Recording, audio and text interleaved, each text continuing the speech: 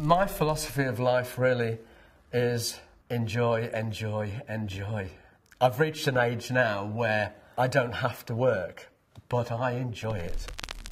My name is Mike Grubb and I am North East Lincs Schools Librarian. On a day-to-day basis I'm responsible for supplying specific subject material to primary schools within the, within the local authority, plus a selection of junior fiction.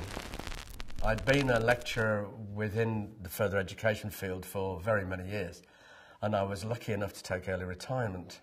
And then this vacancy became available and I came for interview and I was lucky enough to be appointed.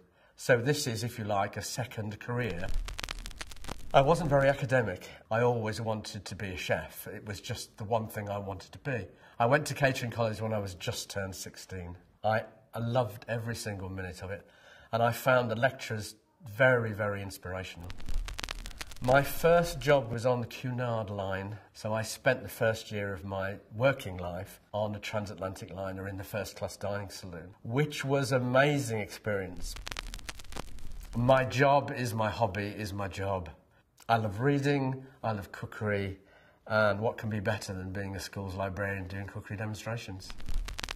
Well, I was due to retire three weeks ago as I was 65, but I was lucky enough to be asked to stay on three days a week. And hopefully I shall stay on for three days a week until the last day.